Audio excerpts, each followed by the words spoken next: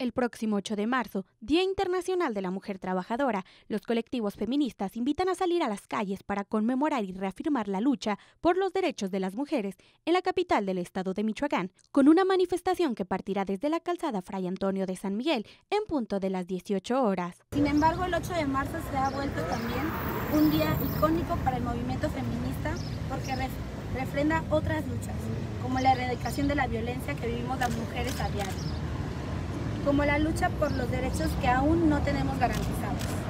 En Michoacán, el movimiento feminista tiene décadas activo y estamos creciendo cada día.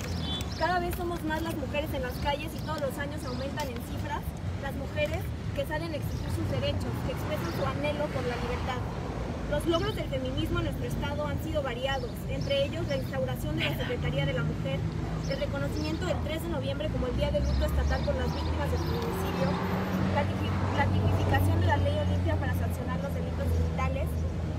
la aprobación de la, de la menstruación digna en el Estado, han sido diversas y poderosas nuestras conquistas, pero aún tenemos deudas pendientes. Los colectivos feministas que integraron esta rueda de prensa recordaron que se marcha por muchos de los casos conocidos en la entidad, así como por todas las mujeres que vienen en camino para garantizarles una mejor calidad de vida. Este 8 de marzo las mujeres de Michoacán marchamos. Marchamos porque estamos hartas de que nos violenten,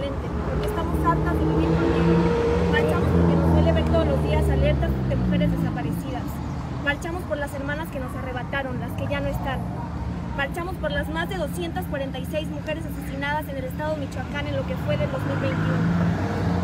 Marchamos por Patti Paniagua, por Jessica González Villaseñor, por Guadalupe del Toro, por Fernanda, por Anaí, por Liz, por todas las asesinadas. Pero también marchamos por las que seguimos aquí, porque seguimos con miedo, porque nos siguen violentando. Nos manifestamos ante los procesos silenciosos y extenuantes de las autoridades cuando buscamos el acceso a la justicia y también marchamos por las que vienen en camino, porque la violencia machista no ha cesado, por las, porque las autoridades y la sociedad siguen normalizando los casos de acoso, de violaciones, de desapariciones.